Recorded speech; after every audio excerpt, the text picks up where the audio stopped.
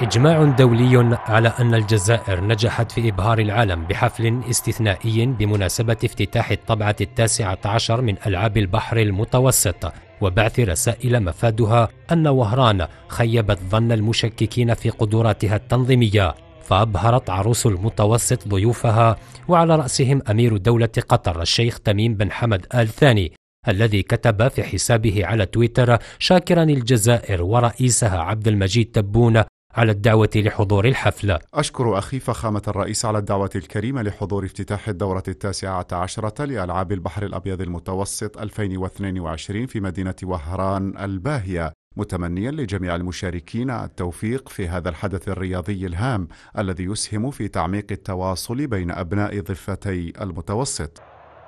بدوره هنأ سفير المملكة السعودية في الجزائر عبد الله بن ناصر البصيري مدينة وهران على نجاحها في مزج التراث التقليدي الجزائري بتقنيات تكنولوجية حديثة. أهنئ الجزائر قيادة وشعبا بنجاح حفل افتتاح ألعاب البحر الأبيض المتوسط وهران 2022 حفل مميز استمتعت بكل فقراته وتعرفت على التقاليد واللباس والموسيقى الجزائرية في أجمل حلة حفل افتتاح الطبعة التاسعة عشر لألعاب البحر الأبيض المتوسط. احتل أيضا افتتاحيات كبريات وسائل الإعلام العربية والعالمية. فوصفت قناة بين سبورتس الحفل الذي شهد حضور الرئيس الجزائري عبد المجيد تبون إلى جانب أمير دولة قطر الشيخ تميم بن حمد آل ثانية بالرائع. والمعبر عن ثقافة وتراث الجزائر والدول المطلة على حوض المتوسط. فيما أشاد موقع العربية الجديد بحفل الافتتاح معتبرا أنه جاء وسط أجواء تاريخية وتفاعل مبهر من الجماهير الجزائرية.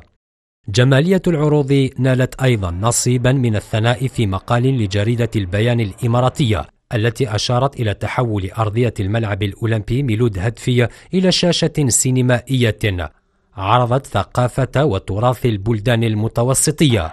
في حفل يثبت من جديد أن وهران على أتم الاستعداد لتقديم واحدة من أجمل دورات ألعاب البحر الأبيض المتوسط.